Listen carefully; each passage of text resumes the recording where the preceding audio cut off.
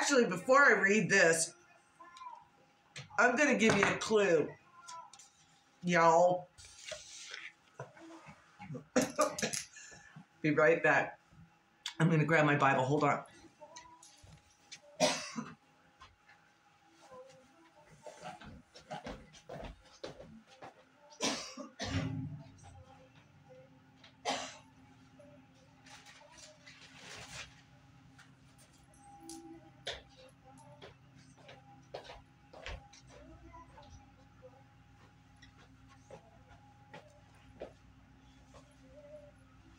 Okay. I'm going to go right to where, if you're paying attention, how to read your Bible. And if you know that if they stole the knowledge, right?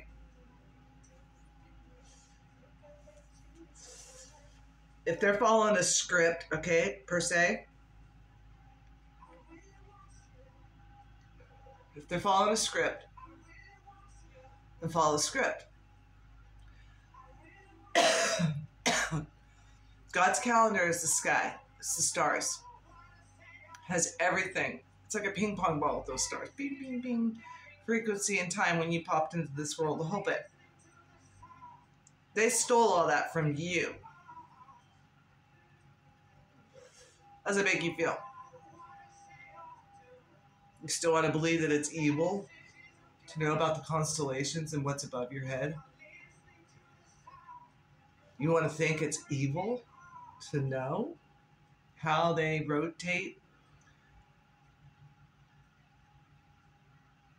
There's an these there's people. I'm gonna buy one. It's a Nikon or 900 or a thousand or something like that. It's a camera, and they're able to focus in on what you would call a planet, and it's just pulsating beautiful different shapes, which are all the shapes that we're seeing on all these walls, all these concrete things everybody's like, it's evil.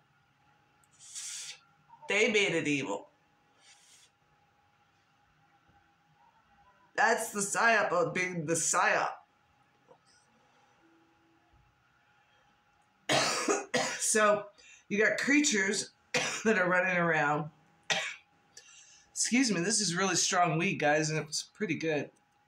And I'm going to carry on. Gosh, it's good. Mm. So you have people that are running around in a psyop within a psyop, if you can understand that. So if you want to strip it back to the original sounds, frequencies, and shapes, these are the shapes. Then another one, your Aleister Crowleys and all these weird fucks um, that came in and usurped it,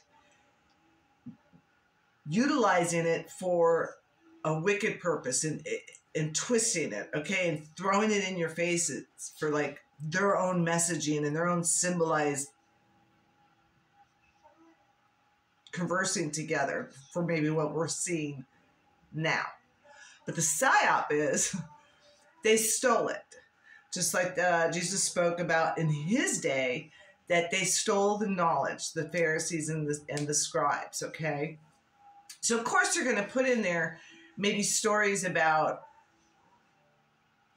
don't you do this because you're sinning if you find out the knowledge.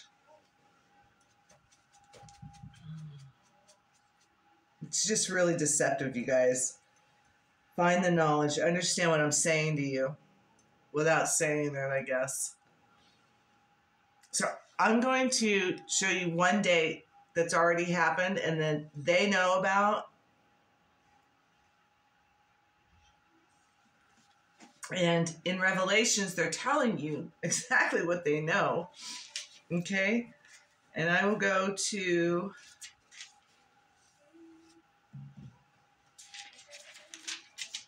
where it states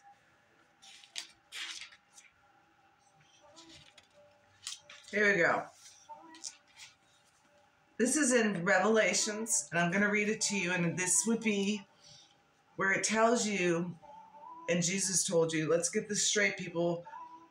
He made the sun, the moon, and the stars to show you the times and the seasons so that you can follow them. You got to understand when they read in the Bible and they talk about the birth and the star of Jupiter, which is a pulsate, it's beautiful that is what the wise men the, they were following, right? So the wise men were following the stars. So don't let them steal that from you. It's glorious. It's you know, it's as above and so below as far as our what we need to understand. When it comes to your Bible, I'm going to read you the chapter which correlates and has not lined up since 2,000 years ago with our Lord Jesus Christ's birth that they speak of, which is the alignment in these constellations that I'm going to read about that are lining up now 2,000 years. And then you, you go to your Bible after I show you the chapter and where we're at, and it already lined up. You go and follow through the revelation script of what they know of the knowledge that they're keeping from you and they're not even telling you and the churches aren't even aware of what their bible is actually telling them okay let's let's deep dive into what what happened on september 23rd 2017 okay in revelations 11 12 you've got the woman and the dragon. Let's read on.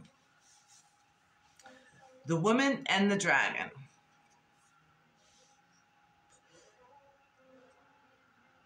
I don't smoke too deep, but I was doing the dragon. Anyways, Revelations 11 12. A great wondrous sign appeared in heaven a woman clothed with the sun. Now I'm going to stop. the woman is Virgo in the heavens, the constellation of heavens. And she's clothed with the sun. It's on her shoulder, shining down on her. With the moon under her feet, and in that constellation of Virgo, the moon was under her feet on September 23rd, 2017.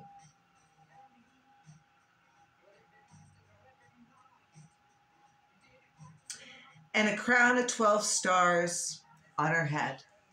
That would be Leo. Okay, that's the constellation Leo above Virgo. And normally has nine stars. And the, the position of three planets that lined up I believe it was Saturn, Mercury, and Mars, made the nine stars in Leo the 12 stars that was her crown. Okay, we're talking about the heavens that our God made. It's right here in the Bible in Revelations. It's telling you what to look for. It already happened. September 23rd, 2017. It's been 2,000 years since it's happened. Okay?